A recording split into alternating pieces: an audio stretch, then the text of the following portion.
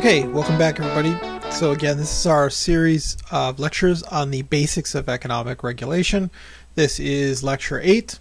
In this series, uh, there's a playlist on this. If you, if you watch, should probably watch them all in order. In this lecture, we're going to be talking about some of the issues that pop up when otherwise competitive industries are regulated.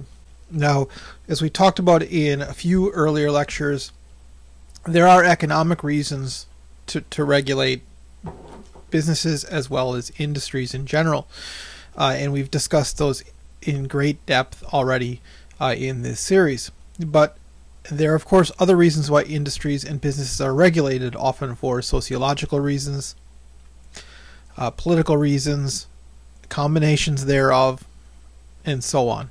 Okay, and as economists, uh, you know, our our role is to sort of understand what the likely effects of those are going to be, and how we might mitigate them. So that's what we're uh, going to talk about today.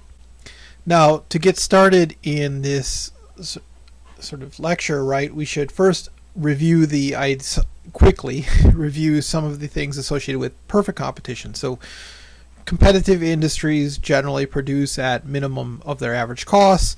Uh, that generally corresponds to their marginal costs. They generally face flat-ish demand curves. That is to say, they they can't affect price one way or another. It's an individual firm can't bring prices up or down. Like an individual gasoline station can't decide to raise prices um, because people would just go to the, the one next door, and, and they can't lower them because then they would lose money. Uh, they generally earn a competitive rate of return. That is to say, they, they don't earn excessive profits and, and they have to earn a certain amount of profits. In other words, it's a very sort of tidy arrangement from a microeconomic perspective because a lot of sort of problems fix themselves. However, from that we can we can say that if price is set at some difference from where the competitive price would be, and if it's a competitive market, this allows us to do a lot of analysis, right? Now, generally speaking, uh, the further the regulated price deviates from marginal cost, okay, so the marginal cost of of production, the greater the welfare loss to society is. Now, that is all things being equal, right? And and some of you may be saying, well, what about demand? Obviously, yes, that's right. So if that's holding demand, constant as well as everything else, right? We can sort of formalize that and see that here. So I'm going to use the cursor. You'll forgive me on that. Let's say that this is a uh, relatively large market and uh, that if it were competitive, it's, there's no, you know, it would be competitive. There's no regulation. It would produce at P star, Q star. Okay. And uh, the individual firm would produce at Q hat. Okay, so this amount here. Okay, and uh, furthermore, let's let's say that you know that this this Q here is such that this is this Q star is 20 Q hat. Okay, so this um, market is going to be divided up by 20 equally sized firms, all with the average cost relationship ACQ. Okay? Right? So you can imagine this industry sort of has 20 businesses operating. They all sort of look the same. They produce a homogeneous product, right? All things that sort of go with perfect competition.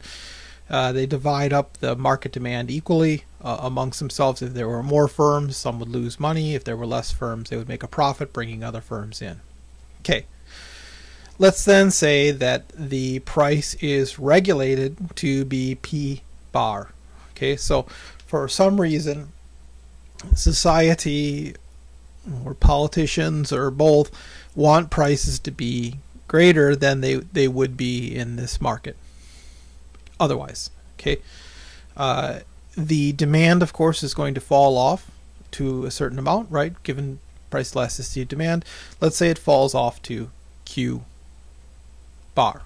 Okay, so there is a loss in uh, output of the difference between Q star and Q bar. So if we take Q bar and we divide that by 20, okay, so this is Q bar divided by 20, right? So all the firms that, that were that were there operating before, they continue to operate, right? Okay, and where do they produce on their average cost curve? Well, now they're producing here, okay, because that's Q bar divided by 20. So each firm shrinks a little bit, right? But uh, in fact, they end up now earning a greater profit. Each of them earns a greater profit per unit than they would have before. The fact that we've regulated the price higher than it would be in this competitive market results in all firms operating at a slightly smaller scale, which results in them operating at somewhat less than minimum efficient scale. They're operating with a higher cost structure, that is to say. Um, but you know those firms are going to earn more profit than they did before as well. So we see a movement of excuse me, we see a movement of benefit from consumers to producers. Okay. Another interesting result that occurs um, in the situations where we're regulating otherwise competitive markets uh, is is presented here, right?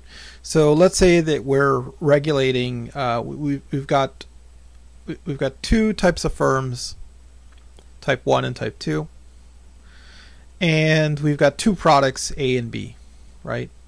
Uh, we're we're not so concerned with product B at this point. Okay, we're primarily concerned with the two types of firms and product A. So let's take a hypothetical example of say the product is housing. Okay, and we've got two types of firms that produce sort of solid structure housing, or can can produce it, right? We've got type 1 firms, and let's say that these are traditional home builders. And then maybe we have type 2 firms that, you know, usually build like camper homes or, you know, mobile homes, homes that you can sort of move around or carry behind your car. Um, they, they can produce houses too. They, they have sort of everything that they need to produce, but it's not their main main line of business. And as a consequence, type 2 firms produce at at a higher unit cost, all things be equal, when they produce fixed housing. Right, so the type 1 firms, they're really sort of the specialists in producing traditional housing. But in a pinch, in a difficult situation, type 2 firms can do that as well. They do it at a higher cost. Okay, let's say then that we regulate the price of houses to be minimized, or the minimum price of housing is P bar. Okay, interesting result happens here. Okay, so what ends up happening before I get into the graphical analysis is that we'll, we're going to find that although the initial regulation reduces consumer welfare for the reasons that we just saw right in the in the previous slide two slides ago if we add additional regulation in this case we can end up increasing uh, total social welfare. Uh, so it's what we see when we start moving away from perfect competition by regulation is a lot of times we can we can create regulation that has these countervailing forces, right? Which is it's kind of neat, right? And what we should take away from this as as students of regulatory theory is that we really really need to think through the likely or anticipated impacts of any marginal unit of regulation. Okay, uh, you need to think it through very carefully. All right, so let's let's walk through this little counterintuitive example. So we've got one demand curve here for housing or product A. Okay, and the type 1 firms can produce at C1, right? So it's constant marginal cost, just a simple, simple sort of example. If the market were competitive, um, you know, it, it would produce here, right? Okay, and it would produce this quantity of housing at, at this price, okay? And uh, but we put a, put a regulation on housing saying, okay, well, prices of housing can't be less than than p p bar, right? But and here's the the tricky thing, right? We only put that regulation on traditional housing providers. So this is another really thing that we haven't touched upon uh, to this point, and it's worth delving into now in class, right? So in the physical classes where we're going to talk about this a lot more, but who you regulate matters a lot, right? And as economists, often we neglect this idea. But as a practicing reg- regulator, formerly now, I can tell you it's extremely important, right?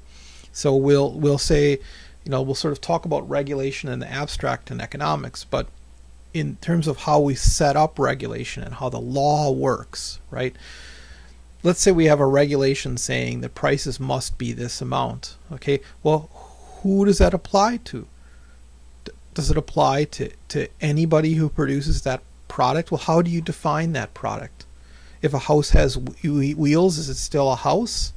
Or is it now, um, you know, a, a vehicle of some sort? Well, okay, it's a vehicle now, not a house, so the regulation doesn't apply to me. Because, of course, producers have every incentive to avoid regulations that have costs, and they similarly have every incentive to opt into markets that are subsidized. Okay, so the sort of structure of who you apply the regulation to is extremely important. Okay. All right. So let's get back into this story here, right? So we we're going to say that prices have to be P bar, and we're going to apply that regulation to traditional housing producers. Okay, well, what happens then is we've got these type 2 providers of housing. So maybe these are people who normally make campers or things like this, or tents or whatever. And they can produce regular housing too, but they, they can do it at a higher higher cost than than the traditional. Okay, well if the regulated price is here, these alternative suppliers can hop into this market, produce this so basically capture the entire market, produce at quantity Q1. Okay, which ends up being higher than the competitive cost would be, but it's lower than what the regulated firms can provide at. So in other words, what's happening is the regulated firms are sort of shut out of the market that they traditionally operate in. Alternative suppliers are able to come in and sort of meet the market demand that exists at their higher cost. If instead we apply the regulation to all firms that might produce, so we're not applying it to firms that traditionally produce this type of housing, we're going to instead make the regulation anything that can be considered a house, whether it's traditional or not. Okay, the regulation is going to apply to those suppliers. Okay, then what we effectively do is we shift everybody up into this price and quantity. So of course there's a further reduction in consumer welfare. However, you'll notice that each time we're doing this, we're modifying our regulatory, profits are going up.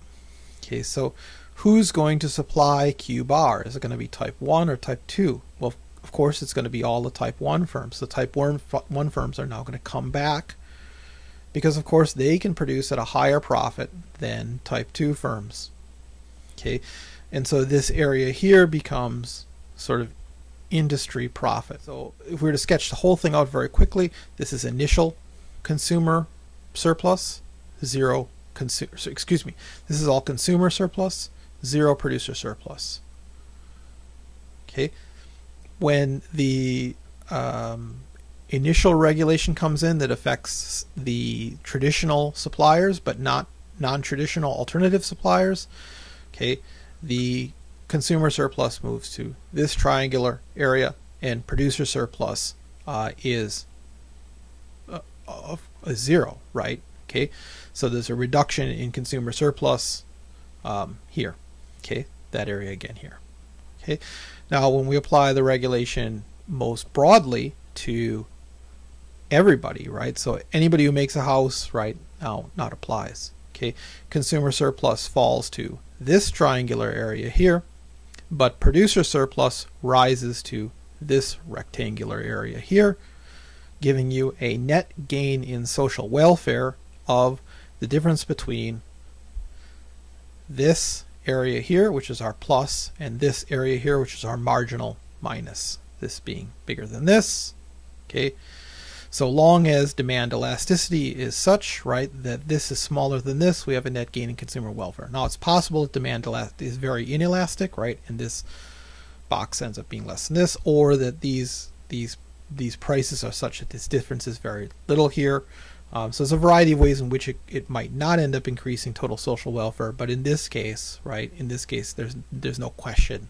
Okay, so let's shift gears now for a little bit and talk about the effects of entry and exit regulation, which also is produces a lot of sort of interesting results like the ones that we just saw. Let's consider a market where the minimum efficient scale is large relative to market demand, right? So so this is a, an industry where there's just going to be a few firms, right? How many we, we don't really care, right?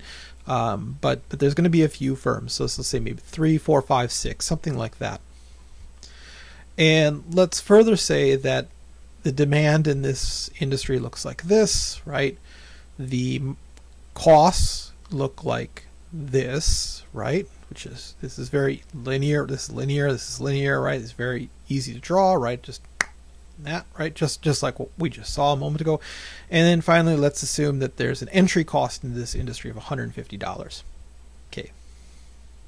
So, you know, maybe like they have, they have to get set up or maybe there's some some licenses they need to buy or something like that. It costs $150. Okay, if we plot up, you know, plop this down into a Cournot, Corn, excuse me, a Cournot model, and just to quickly review, so if you if you Google search Cornell Cournot Cornell. if you Google search Cournot model, you can quickly find what it is and how it works and go into it. Right, it's something you cover in first year microeconomics, so we're not not going to cover it here. But uh, suffice to say, it's it's it's a model where you have at least two firms. Traditionally, it's just two firms, but you can do with more than two. Okay, where you have two firms, and each firm optimizes its output uh, given the optimization of the other firm right? So one firm sets their output at whatever's optimal to them, and then the second firm responds to that optimal output, optimizing for themselves. But then, of course, the first firm has to reset because there's now another firm, and then they go back and forth, right? And eventually, what happens is they achieve a sort of stable result where they sort of split the market up in half. Okay. So of course you can do this with, with n number of firms too, and, and what you find when you play this right is that the number of firms increases, right, the, the equilibrium Cournot solution approaches the competitive solution. Suffice say, in this case, we're not going to get to that because of some minor mathematical complications. Uh, math nerds are like, yeah, of course, it's linear, right? Okay, um, so here's our sort of results down here.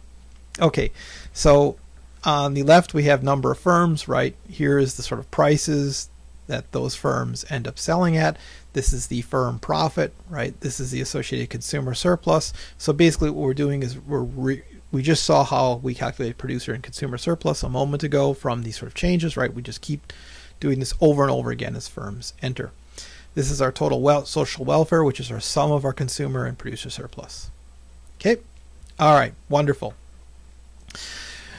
We'll see that firms will continue to enter this until there is um, there's there's no incentive to do so, right? So there's no profit, right? And that occurs at six firms. We can see that here because if a seventh firm enters, profits uh, for for for all the firms is is negative 23, including the seventh entrant. So there's no no sense in the seventh business getting into this game.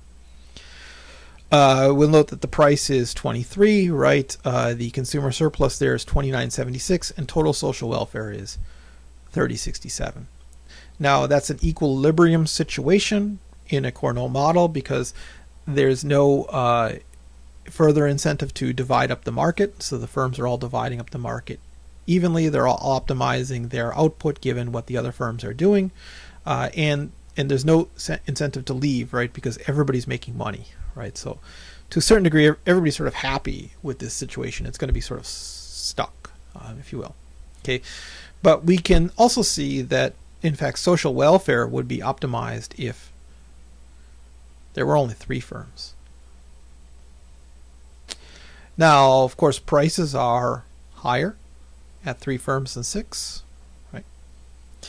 We can see that, uh, however, firm profit is considerably higher, and the variation in consumer surplus uh, is also substantial but given the number of firms in operation, right, which is three times this, right, the sum of firm profits and consumer surplus ends up being greater here than it is here. Okay. And this is sort of an interesting result whereby if we in fact regulated the price up in this case, right? So if we set the price at 33 rather than 23 or say somewhere anywhere between 33 and 28, right? It could be 30, right? If we regulate the price there, in fact, we're going to increase total social welfare. Now, some of you might be objecting to this and, and giving, you might still be grumbling from the last slide, say, well, wait a second, firm profits, blah, blah, blah, blah, blah. You know, that's not good for society or whatever. Yeah, but the fact that the firm earned the profits, okay, so the state can tax those, right? And then redistribute them back. So, like, let's just say you could, you could say, like, everybody who bought a product in industry X, you now get a tax rebate. right? Okay, so so there there are ways to move those surpluses around society if you know if you want, right? If you want to do that. So that's why it's important that we consider sort of total surpluses. All right. Okay. So and now some of you may be saying, "Yeah, but politics." Okay, right, but that's this is economics, right? We're not we're not here to to to sort of have that debate, right? Um, suffice it to say, from an economics perspective, it's possible to put those benefits wherever you want them.